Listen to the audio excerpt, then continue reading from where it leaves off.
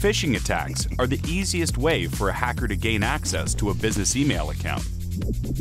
Hackers work tirelessly to trick companies into clicking on malicious links, and one small oversight can lead to a ransomware attack.